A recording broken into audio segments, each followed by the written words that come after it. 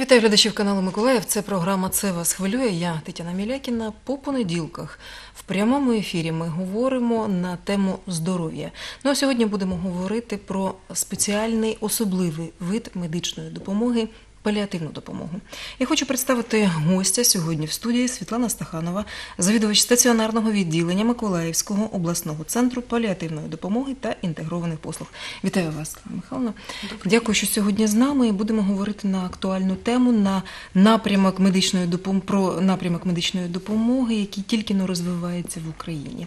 Я хочу зазначити, ми в прямому ефірі. Телефон студії 47 63 37. Якщо у вас будуть запитання до нашого експерта, будь ласка, ставте свої запитання за номером прямого ефіру. Отже, пані Світлана, що таке паліативна допомога? Паллиативная помощь в нашей стране, не только в нашей стране, это вид помощи, который э, помогает больным нашим улучшить качество жизни. Паллиативные больные – это те больные, у которых лечение заболевания уже не приводит к выздоровлению. К сожалению, в нашей стране особой статистики по этому поводу не ведется, но я хотела бы привести несколько цифр Так, будь ласка, про що свідчить статистика? Э, ежегодно в нашей области умирает приблизительно 15 тысяч человек, которые требовали бы паллиативной помощи.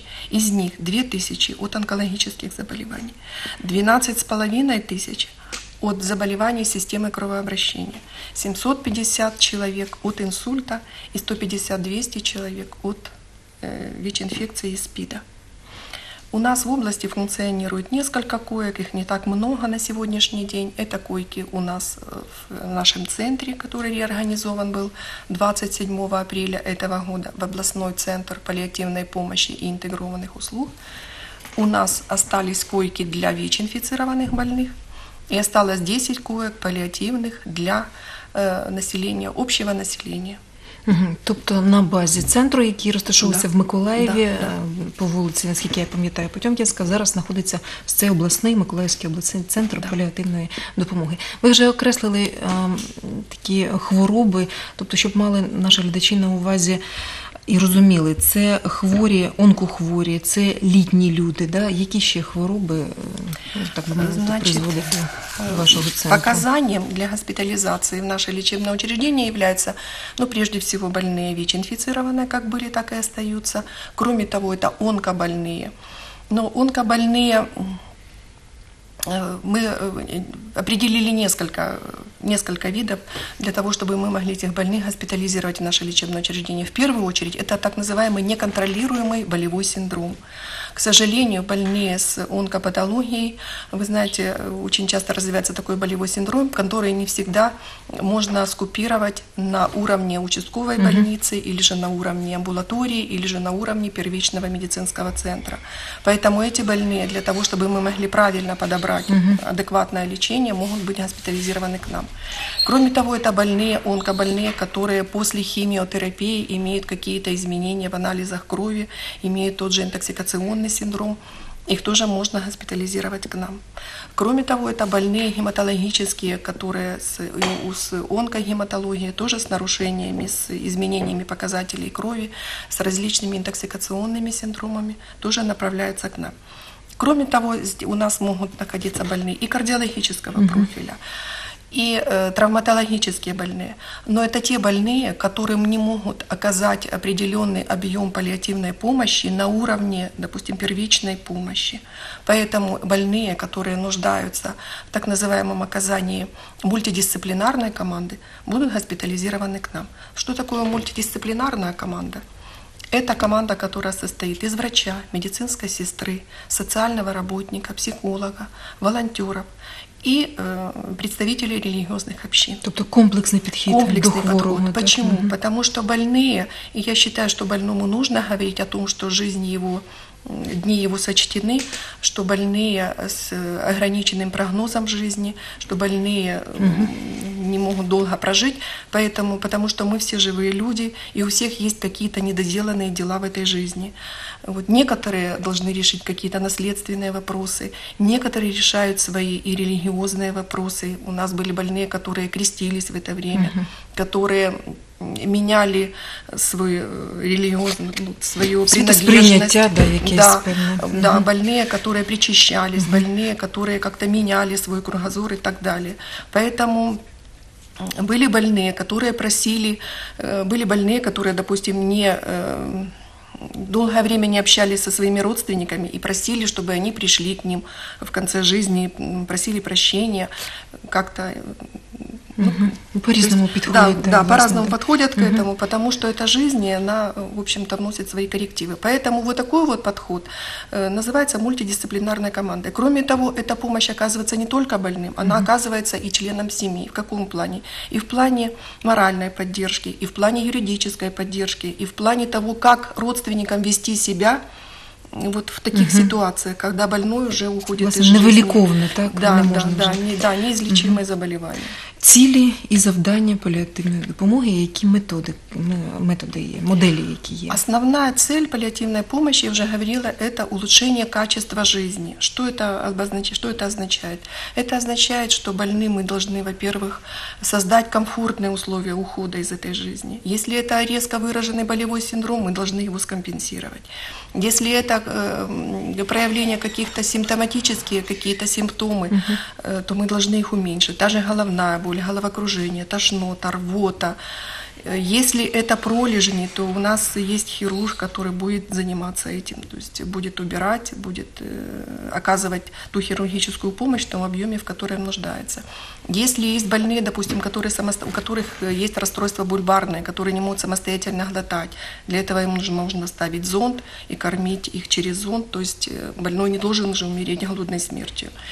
Дальше снятие интоксикационного синдрома. Можно, допустим, больному снять, покапать его немножко, привести, к- м, предложить ему какие-то другие лекарственные препараты и немножко его, так сказать, э, привести в чувство и привести его к жизни. Вот такие вот э, м, такие цели мы ставим перед собой для того, чтобы больные, я еще раз говорю, комфортно себя чувствовали даже в последние дни ухода из этой жизни. А, Пані Слава, ну, ну ви як людина, яка ну, достатньо вже в медицині працюєте, ви знаєте, що й давно існує да, такий вид паліативної допомоги, але як напрямок він в Україні тільки розвивається, починає розвиватися. І, власне, ви сказали, що тільки ось 27 квітня 2017 року були зареєстровані центр в реєстрі юридичних осіб.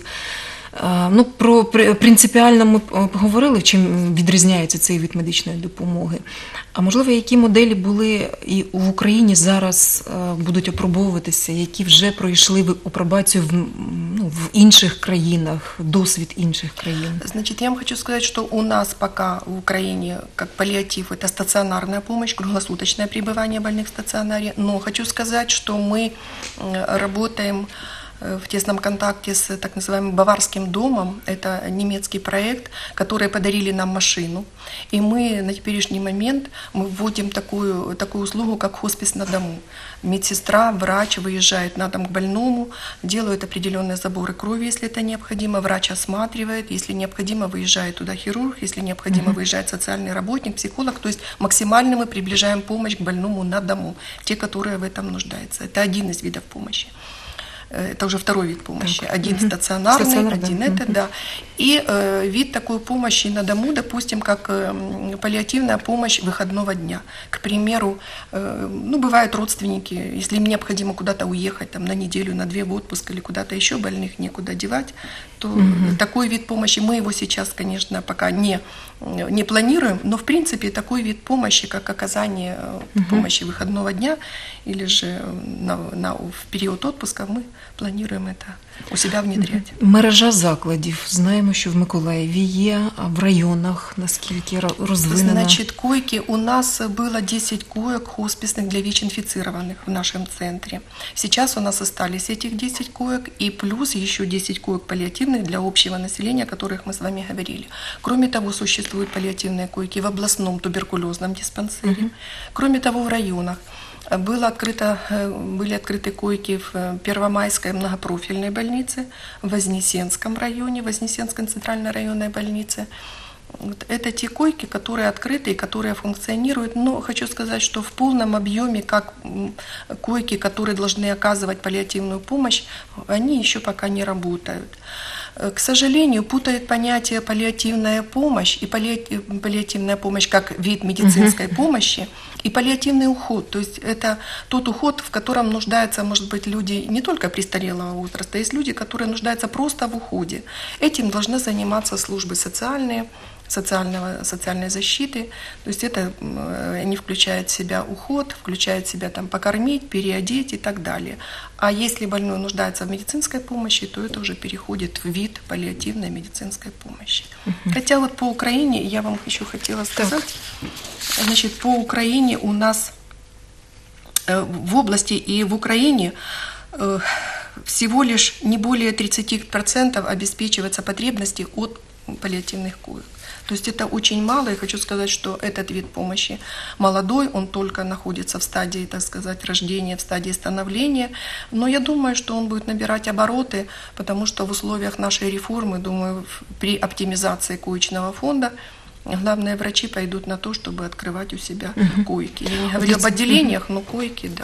А для цього потрібні якісь комплексні програми, державні програми, регіональні програми, можливо, Да. на місцевому рівні, оскільки зараз іде об'єднання громад, можливо, вони самі будуть приймати такі рішення громади. Значит, мы планируем, я вот и принесла, мы планируем э, организовать э, галузевую отраслевую Отраслевую. программу, отраслевую программу по оказанию паллиативной помощи. Но это, может быть, будет уже на следующие, на 18, 19, 20 годы. Мгм. Тобто все в Да, перспективі. в перспективе маємо- мы этим занимаемся, у нас это есть. Мы только как молодой, вновь, созданный, э, вновь созданное лечебное учреждение, которое явилось преем, преем, преемником Приємниками, да. преемником э, спеццентра. Мы сейчас только подали документы на получение медицинской м, практики и на м, документы на получение лицензии на наркотики. Мгм. Показання до госпіталізації і протипоказання, наскільки- які Значит, існують. показания для э, госпитализации. Ну, в первую очередь хочу сказать, что направлением к нам является из областных лечебных учреждений. Это направление из этих непосредственно областных лечебных учреждений, то есть это или онкодиспансер, или э, онкогематология областной больницы. Центры первичной помощи должны направлять больных, конечно же, по э, представлению участковых или семейных врачей, но направление должно быть через, э, только через врачебно-контрольную комиссию. ВКК. Потому что, да, через ВКК. Эта комиссия должна осмотреть больного, осмотреть, э, в чем нуждается он, что именно нужно для того, чтобы этот больной находился в нашем лечебном учреждении И такие больные к нам Огляд на дому, да, госпитализированы. як правило, відбувається чи в медичному Конечно, закладі на конечно. дому? Это комиссионно осматривается на дому и принимается решение, да, нужно ли этого больного госпитализировать к нам. Таким образом. Дальше, я уже говорила о том, что э, ВИЧ-инфицированные сохраняются у нас, онкобольные мы об этом говорили, онкогематологические больные говорили, кардиологические, травматологические больные. И э, это те, которые, я уже говорила, требуют каких-то специальных методов, которые они смогут оказать на первичном звене. Противопоказаниями являются открытая форма туберкулеза, острые инфекционные заболевания, острые психозы, потому что больных с острыми психозами у нас просто нет условий для их содержания. Э, Пациенты, которые требуют социального ухода, это то, о чем мы с вами говорили, для того, чтобы не путать Не- не понятие, плутать, так, да, понятие медичного, да. да, Мгм. медицинский и э, понятие просто ухода. И э, больные, так как это у нас отделение плановое, не ургентное, то есть больные должны быть обследованы. Больные должны быть с рентгеном, с рентгенобследованием легких, с общими анализами крови и мочи, для того, чтобы м, мы могли посмотреть э, э, состояние, в каком состоянии к нам больной поступает. И для того, чтобы исключить вот то- те противопоказания, о которых мы говорим. Мгм. Пані Соня, ви- ми говоримо про е, вид медичної допомоги, е, який би покращив якість життя людей, які, на жаль, вже ну, помирають так в силу своєї хвороби. Але навіть для цих від- ваших відділень, для цієї допомоги потрібні спеціальне обладнання, спеціальні якісь певні ресурси, е, забезпечення навіть спеціальними меблями. Е, Як в цьому плані? Да, вы правы. Значит, у нас были организованы две палаты. Это было еще в 2008 году. Мы выиграли грант у- в- для э, технического оснащения и для ремонта этих двух палат. Мы закупили, нам закупили, вернее, на эти деньги, нас закупили э, функциональные кровати, прикроватные столики, холодильники, но этого очень мало, к сожалению. И я хочу сказать, что м, э, кроме вот волонтеров, нам еще очень э, помогают религиозные общины. Э, С нами работает э, церковь Вифания, с нами работает еще церковь наша христианская, которая помогают нам вот этими э, средствами ухода за больным. Э, Почему для нас это очень ну, у- имеет такое большое значение? Потому что, к сожалению, за э, бюджетные средства мы памперсы или же какие-то средства другие ухода мы закупить не можем. А они очень дорогостоящие. Можете себе представить, если поступают к нам больные, э, Ну, не сколько- говорячи про сколько ліжко это спеціальне, стоит. так Да. потрібно, і ходунки певні потрібні. У нас, да, якісь. у нас есть не- небольшой, я не говорю, что все кровати, все палаты, но оснащены функциональными кроватями. Есть прикроватные столики. У нас А есть як, ходунки, як и у мало б нас есть- виглядати, наприклад, ці, ці меблі? Ой, При- ну это в идеале. вы В идеале, хотите, да. В идеале, да. В идеале это должно быть так. Возле каждого, возле каждой функциональной кровати должен быть прикроватный столик на колесиках, который передвигается, отодвигается, с которого можно больного покормить. Плюс э, у дежурного медперсонала должны быть такие передвижные тележечки, на которых у них там, допустим, стоит или же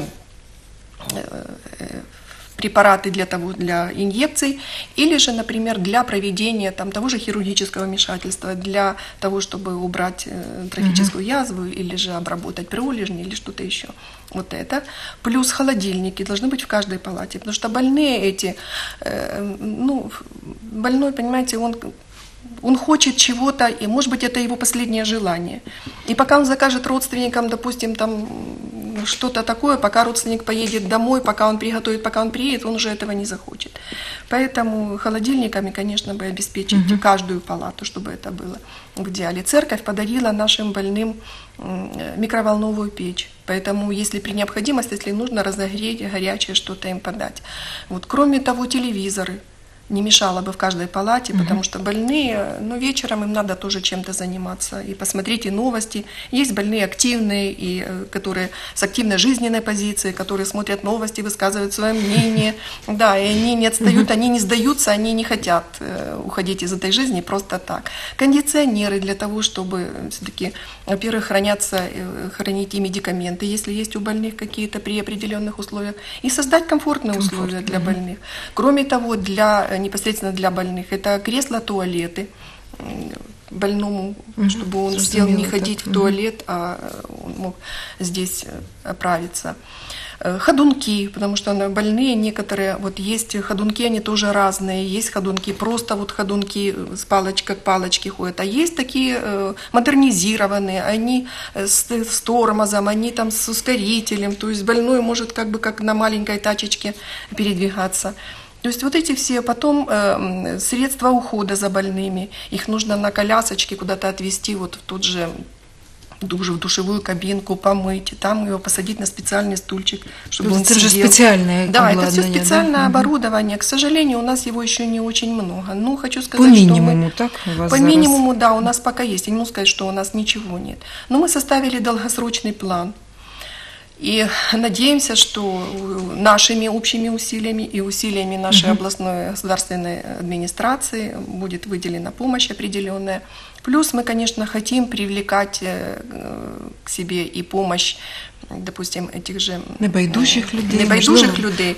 И плюс еще гранты, да. да, Мгм. вот, э, вот этот баварский дом закупили нам машину. Они закупили, кроме того, эм, ноутбуки. Ноутбуки стоят в кабинетах у врачей и по районам для того, чтобы врачи при необходимости смогли проконсультироваться с нашими врачами в каких-то тяжелых случаях. То есть я думаю, что работа в этом направлении ведется.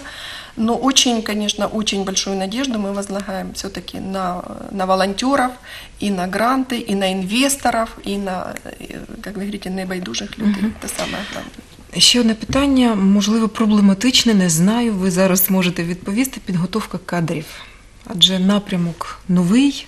Як відбувається підготовка кадрів? Значит, такой специальности, как таковой, нет. Но по виду лечения, значит, у нас есть в Киеве институт имени Шупика, институт усовершенствования врачей. Там есть кафедра паллиативной помощи. Э, Они периодически направляют, направляют туда э, врачей, которые хотят и которые э, занимаются этим, которые будут заниматься. А в перспективе мы планируем у себя в центре открыть центр обучения медицинских работников и э, проводить обучение не только наших медицинских работников, но и э, медицинских работников, допустим, из э, районов. Кроме того, к нам приходят сейчас, мы заключили договор с университетом Петра Могилы, и там дети, которые, студенты, которые учатся, обучаются, получат в дальнейшем профессию социального работника, они приходят к нам, мы их обучаем, они смотрят, как практически, м, то, что им рассказывать теоретически, это, конечно, Треба хорошо. на практиці, да, да, а то, что вот они приходят, вот они пришли, я спрашиваю, э, вот как вы видите свою, в чем вы видите свою работу? Они говорят, мы будем координаторами. Я говорю, что же вы будете координировать? Знаете, вот, вот такой простой жизненный вопрос, что вы будете координировать? И они замолчали. Я говорю, куда вы пойдете, допустим, для того, чтобы больному оформить документы? Есть же больные, без документов, без ничего. Вот, э, ну, бывают разные ситуации. Поэтому э, обучение не только э, социальных работников, но и наших медицинских работников, обучение волонтеров, потому что э, как правильно к больному подойти, как его перевернуть, не причинив ему дополнительной боли. Потому что основное, основная заповедь в медицине – это не навредить больному. Поэтому нужно подойти правильно, нужно правильно поменять постель, нужно правильно ему поменять э, белье, нужно его покормить, нужно знать, как его уговорить, нужно знать, то есть э, тысячу вот таких вот мелких э, вопросов, которые нужно знать и которые нужно. И поэтому обучение у нас стоит на первом плане, и плюс ко всему мы хотели бы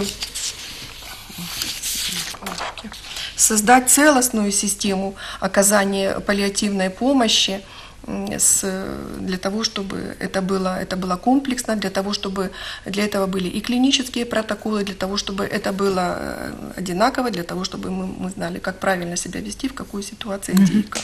Ви вже зазначите, що працюєте ну, співпрацюєте з око- онкологічним диспансером, а інші лікарні е, міста, а можливо області, чи є співпраця така? Ну, я не могу вам ответить на этот вопрос. Скорее всего, да, потому что больные, которые нуждаются в симптоматическом лечении, больные, особенно онкобольные, конечно, они отправляются по месту жительства, к сожалению. І давайте нагадаємо е, координати центру, і е, все ж таки ще раз нагадаємо, що потрапити до вас можливо тільки через е, відповідну комісію. так? Только По- через Мгм. ВКК, да, только по направлению ВКК. Больные из онкодиспансера и из областной больницы, из областных лечебных учреждений идут по направлениям от своих лечащих врачей. Э, э, Телефон нашего лечебного учреждения, нашего стационарного отделения 3707 92. Мгм. Телефон нашей поликлиники 24 10 98. И телефон приемной главного врача 48 97 19. Можливо, кому- комусь вони будуть в нагоді, Можливо, ці, ті, кому-то, теле- да, ці нужно телефони. Я вам дуже дякую за цю розмову на актуальну тему і про новий Вид медичної допомоги, який тільки розвивається. Можливо, і вам, шановні глядачі, ця інформація буде в нагоді. Я нагадаю, сьогодні в студії у нас була Світлана Стаганова, завідувач, завідувач стаціонарного відділення Миколаївського обласного центру паліативної допомоги та інтегрованих послуг. Дякую вам. На все добре. До свидания.